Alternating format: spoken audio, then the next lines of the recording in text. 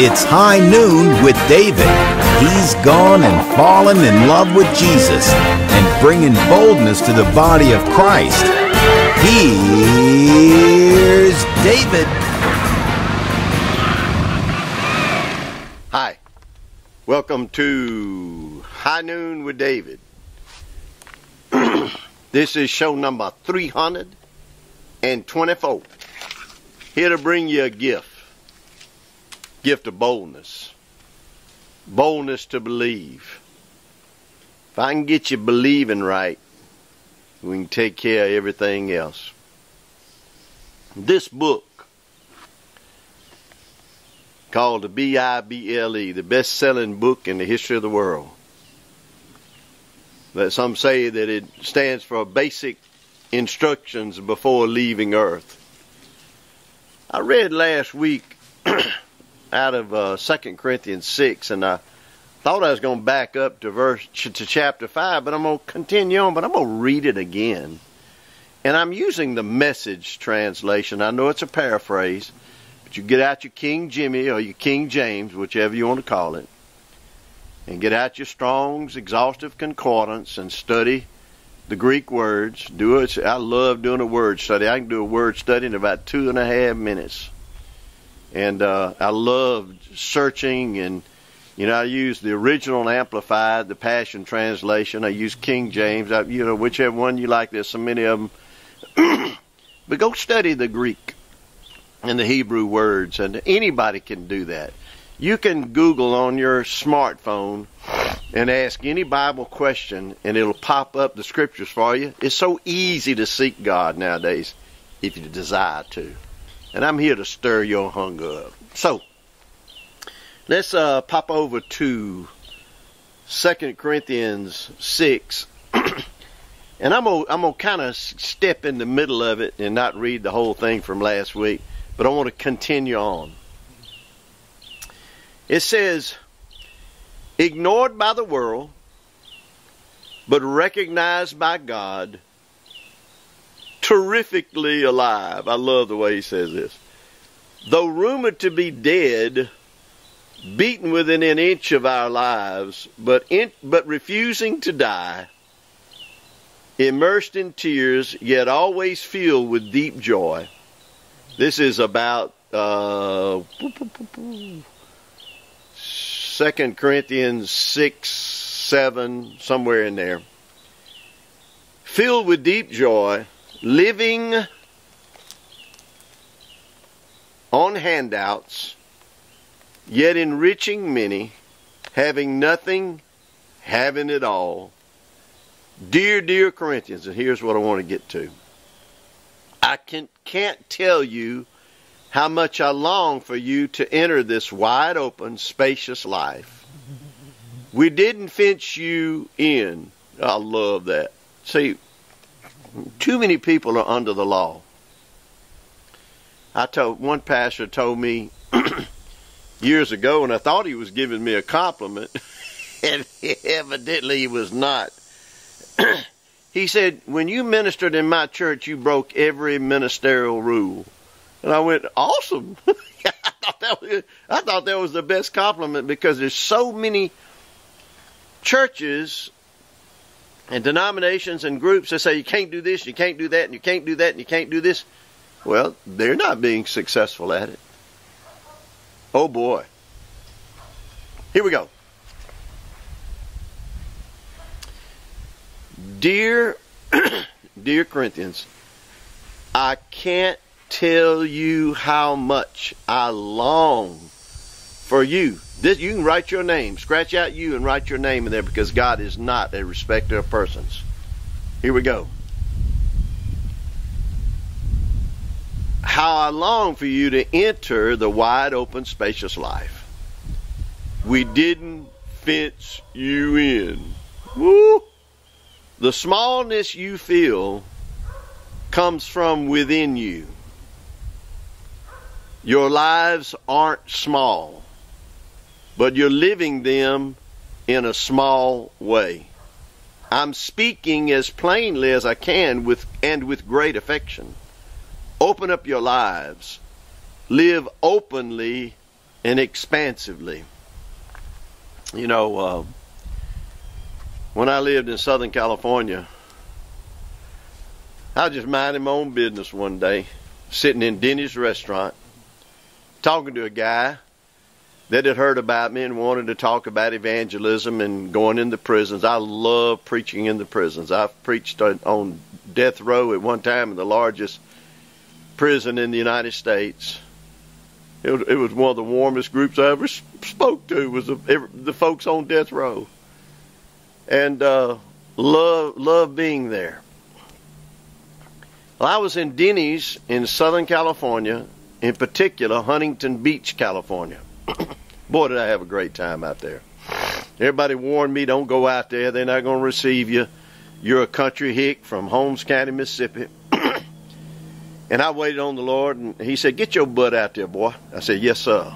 And I went on to Orange County, California, Huntington Beach. Love it out there. I was on the beach a lot. In fact, being a country boy from Mississippi, I had a better tan than a lot of those people out there laying on the beach did. And uh, that was very impressive to them. Of course, I talked real funny to them. I thought they talked funny to me, be honest. But I get out there and I'm sitting in Denny's restaurant talking to a guy about prison ministry. And uh, this guy comes and squats down beside me. he he'd overheard me talking. And I firmly believe the Holy Spirit does that so many times. He'll magnify your voice so people can hear and get blessed. And he squats down beside me and with tears. He said, "Dude, I'm a plumber, and I spend my whole paycheck every week on cocaine." I said, get in the booth, boy. And I, I prayed with him, ministered the gospel to him, prayed with him to receive Jesus. He calls, I gave him my phone number. And I know a lot of preachers say, well, I won't give mine out. Well, I will as I'm led. Hope you listen to me. and at midnight, I get a call. I answer the phone. Hello. I mean, I was sound asleep. And it's this same plumber. He said, dude, I know I shouldn't have gone back to the bar, but I, and, and I thought, no, you should have. Now, see, I know that goes against religious thinking. This guy's friends were all at the bar.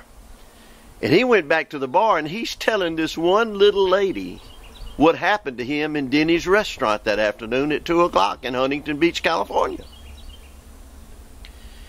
And as he's talking to this one lady about what happened to him, talking to this freak from Mississippi that talks funny,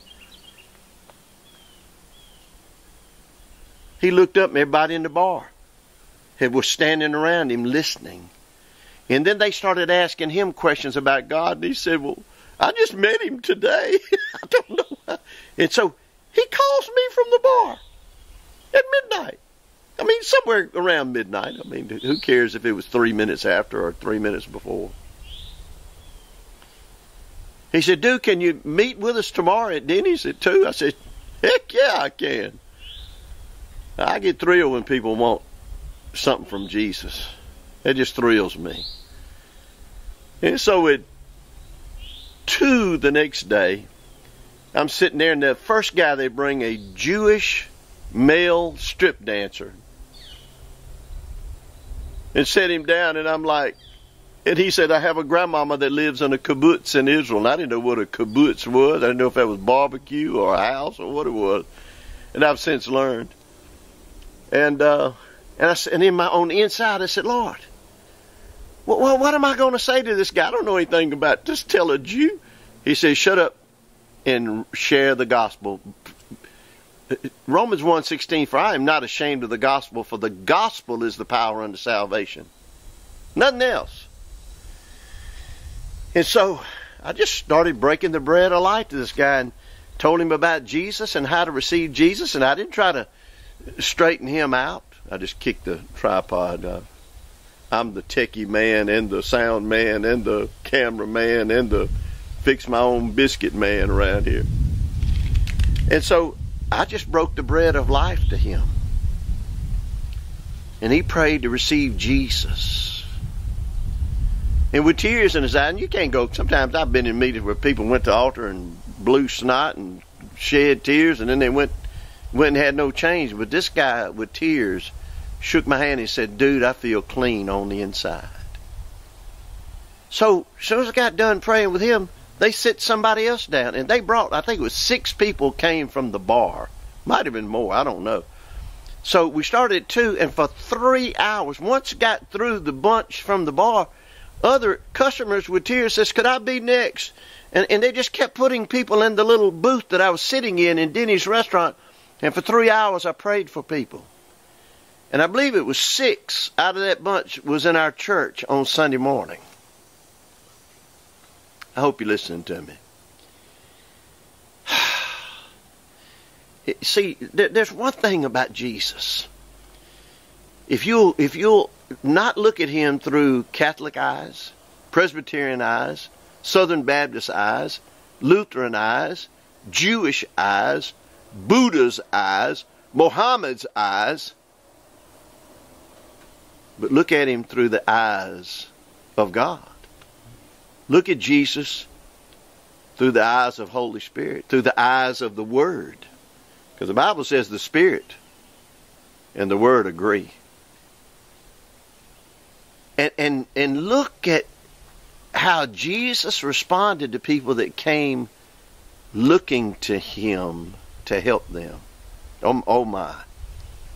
It, it, it's there's a guy that uh, carried the cross around the world. He's in the Guinness World Book of Records. He's a Mississippi boy raised up around Greenwood, Mississippi. Name's Arthur Blessitt. He's carried the cross so much. One collarbone is normal size, and the other one's that thick where he had the carried the cross most of the time. And and I've gotten I've been on Christian TV one time with Arthur Blessitt. It was a tremendous thing, and I've got a personal note I got from him a few months ago.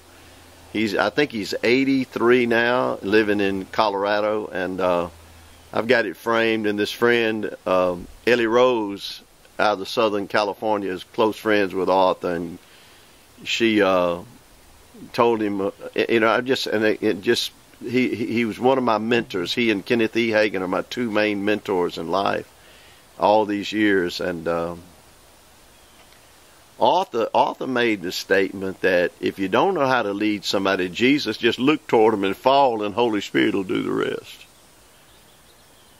And he did something strange. The Lord said, I want you to carry the cross around the world. And of course, people say, they, they criticize me for doing it. And they say, well, Jesus ain't on the cross. Well, would you look at this cross I'm carrying? It ain't got a Jesus on it. I'm just, it had a bicycle wheel on the end. And it's just a tool to break the ice to share Jesus with people. I carried it from Gulfport, Mississippi on the Gulf Coast and came through the center of the state up small highways where people could stop and interact with me and man, I had so much fun. I, I preached in public high schools up and down the state, and I got the entire student body and all the teaching staff and the coaches every time, except for one time. And I think we missed getting 10 of them, 10 of the kids, young people. And, uh, but Arthur looked up, had this cross hanging on the wall, and he put a bicycle wheel on it just as a shock absorber so it wouldn't beat you up when you're carrying the thing and he went all over the world. And God, he he was on TBN one time and announced that we're going witnessing in the morning at Hollywood and Vine in Hollywood, California, and ten thousand people showed up to go witnessing with him. That's the kind of influence he had. He still does today. And boy, the show's going by so fast. And I'm telling you that when people come up to you and, and, and looking for something from God. The spirit of faith is so strong on me. But if somebody comes up and wants to argue and fuss about something, one big old splat. Now, I've had people want to argue, and I've had the words from Holy Spirit and just broke it wide open for them. That's the reason we walk in love, and we walk by faith and not by sight. Well, let, let, me let me let me continue reading here before I get myself in trouble. Now, listen. This is we're in Second Corinthians chapter six, midway of the chapter. This is a message. Don't become partners. Boy, this is so good. Don't become partners with those who reject God. How can you make a partnership, excuse me, out of right and wrong?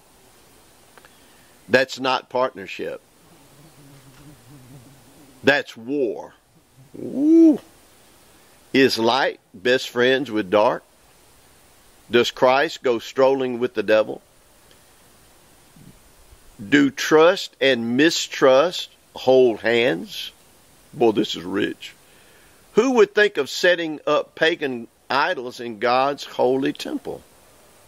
But that is exactly what we are, each of us, as a temple in whom God lives. God Himself put it this way I'll live in David Dixon, or I'll live in Betty, or I'll live in whatever your name is. Move into them, I'll be their God, and they'll be my people. So leave the corruption and compromise.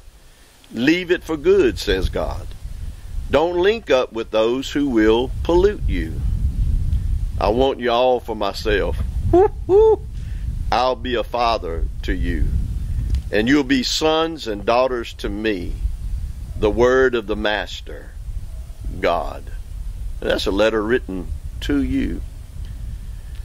You know, uh, they say, I don't know, I, I, statistics, they say statistics show that most people who become believers within two years have lost all their lost friends.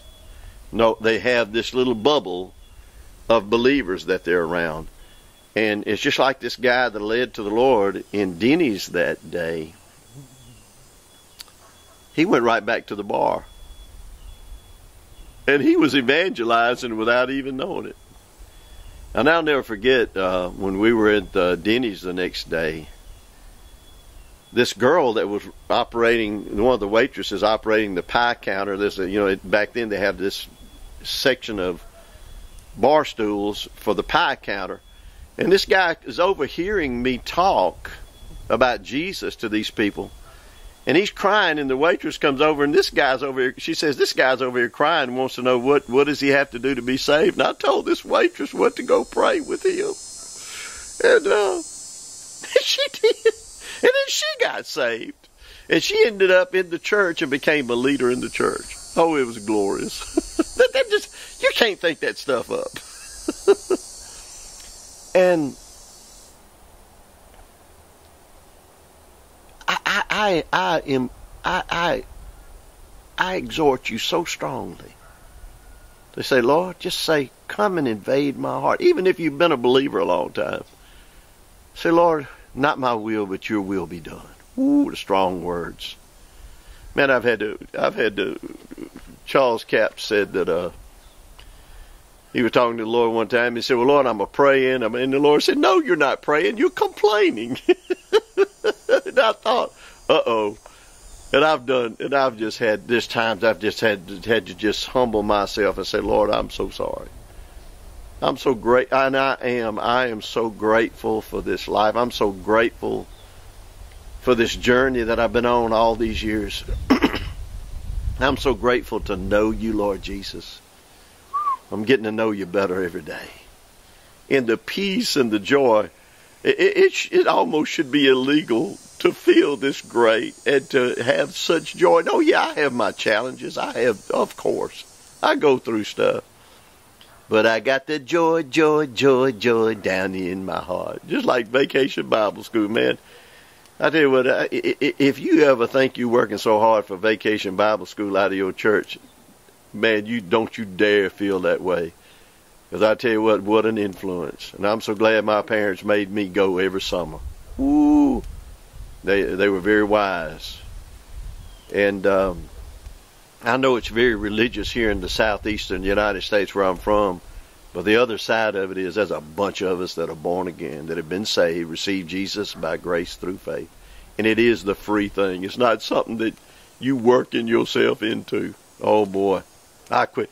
I ask people all the time, say, well, you've been behaving. They go, well, I'm trying. I go, well, I ain't trying. I'm done. I'm done. I, I changed families. You say, folks, folks say that. Well, you just, I just can't believe that somebody can squat beside you in a booth at Denny's and crying, and you can pray with them, and they got saved. I just, I just can't believe it's that easy. Well, believe it, because it is that easy. It is that simple. I ended up going. It, it, it, of course, I've done some things. I look back on, boy, I, I was dumb on some things I've done. In fact, on a lot of things I've done. But I went with him. He was living in a drug dealer's house, and I walked in there, and they're cutting out with a razor blade cocaine on the coffee table and snorting cocaine. Well, I'm waiting on him to gather up his stuff, and I helped him move out of the drug dealer's house. And I just sitting there smiling, and I'm thinking, you better get the mm out of here, boy. and uh, he started on a new journey. I hope you're listening to me today. In fact, he received the baptism of the Holy Ghost with the evidence of speaking in unknown tongues. he went on a on a truck driving trip, came back. He was messed up. He said, "Well," I said, "What happened?" He said, "I went to a Pentecostal church and." Because I was a visitor, they put me on the front row next to the pastor, and I raised my hand, started singing in unknown tongues. And the pastor said, Well, how long you been speaking in tongues? He said, Three days. And he said, Ain't no way you could have a prayer language that beautiful after three days. It's got to be the devil. And I had to walk him back through the word again. And, uh, and it, it, that right there proved that he had the real deal because the religious folks couldn't handle the real deal showing up. That's what messed the Jews up. The real deal named Jesus showed up with real power real healings, real miracles. And guess what? They are still here for today. You desire to know this Jesus. You know, people say there ain't nothing free in life. Oh, yes, there is. He is. Here we go.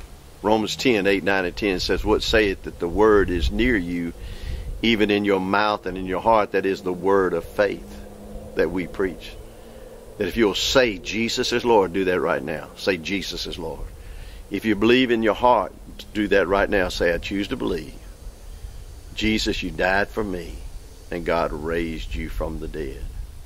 Well, if you do that, you're saved. Well, I, shut up. Leave it alone. I just gave you word. I'm going to have to go in just a minute so I can come right back. But say this after me. Say, Jesus loves me. This I know. For the Bible tells me so. Father God, you see me as holy, flawless, and restored because of the blood of Jesus. Ooh, that's good news. You know, you get a hold of that. You'll drop a lot of bad things out of your life. All right. Love you. I'll be right back. Back again. One of the funniest, and I've had this happen so many times. I've done hundreds of seminars on how to win people to Jesus around the world. And uh, we did a church in Bowdon, Georgia. Yep. Took them, took them, you know, shared for two or three days, and then took them on the streets, and and so I encouraged everybody to go to the people they prayed with that afternoon, and get them to the service that night. and so I'm interviewing these people that have just been prayed with. You know, they're in church and, and you know, they've been drinking whiskey that afternoon and they've been doing all kind of stuff because that's what they was used to doing. You know, when you get saved, you don't just drop everything out of your life. It's the spirit that you are gets saved. You still got flesh. And in fact, I know people that drink whiskey and beer and wine in moderation and religious folks want to kill them over it, but religious folks eat food like they're going to quit making it this afternoon. And, and the word says, put a knife to your throat. Well, I don't see them having knife seminars on how to how to lose weight by putting a knife to your throat. They don't want to preach on that side of it. But I interviewed this girl that had prayed with one of the teams that went out door to door and on the streets. And so I said, "Well, what's your favorite song?" You know, I didn't even. And, and she said, well, it's the one by Aerosmith. This dude looked like a lady, and I lost it. The whole church lost it because we just brought in somebody from the outside, from the world. And they still got to get their minds renewed to the Word. And it was just, it was just, and I, will tell you another one. One church bust in a bunch of uh, in, inner city kids to church on Easter and the pastor had his lapel mic on right here, and, you know this big mega church, thousands of people there on Easter morning, all dressed up for Easter, you know. And he bends over this little girl they had her on the front row, and they said, "Well, that is the most beautiful Easter dress I ever saw." And the little girl spoke up. She's about six years old. Said, "Yeah, but Mama said it's a bitch to iron." And that whole church, to their credit, rolled laughing so hard. Look, if you think you're so holy that you can't go out there in the world and reach somebody and hear some cuss words and maybe have somebody spit some snuff on the ground by you or, or you witness to them while they smoking a reefer married you one? I did a marijuana wedding one time. I was telling, reminding my, telling my daughter about it. She said, Daddy, I was with you. And I, we went up in there and then people said, you really married that couple. But I didn't go there to beat them up to beat the hell out of them because of what they're doing. I went in there to share the gospel. I went in there to share Jesus with them. Okay, I got to do this real quick. My, I've got one of my consultants, one of my gurus, so to speak, jokingly. They tell me, David, you forget to let people know they how to support you. So here's how you can do it. I, I am a nonprofit, tax exempt, what is it, 501c3 nonprofit tax exempt organization. I'm in good stead with the state of Mississippi and the United States of America. And I don't know about Iran and Russia and China and Cuba. And, but you can send a check and, and make the check out to DDM, stands for David Dixon Ministries. I've been at this 43 years living by faith. P.O. Box 1788, Madison, MS for Mississippi, zip code 39130. There it is right there. You can snap a picture with your phone. It's on daviddixon.org, which is across my chest right now. Or you can text to 44321 and what you can write in in the message is be bold and then follow the prompts, and it'll tell you what to do. So you so you can send the check to DDM PO Box 1788, Madison, Mississippi 39130, and make it out to DDM. Or you can text to 44321. Be bold. I know you want to help. We're expanding. We're growing. We just the band's just warming up here. So say this after me again. Say Jesus loves me. This I know. Say it again. It's high noon with David. He's gone and fallen in love with Jesus and bringing boldness to the body of Christ. Here's David.